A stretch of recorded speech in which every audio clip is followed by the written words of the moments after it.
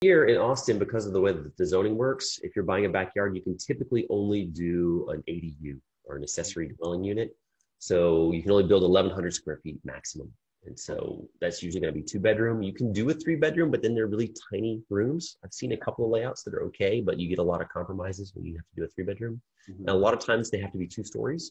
So this latest one that I got, I'm able to do a one story um, ADU with two bedrooms. And so I'm really excited about that one. It's going to be really nice because most of them are two and I get to do a one. So that's, that's really great.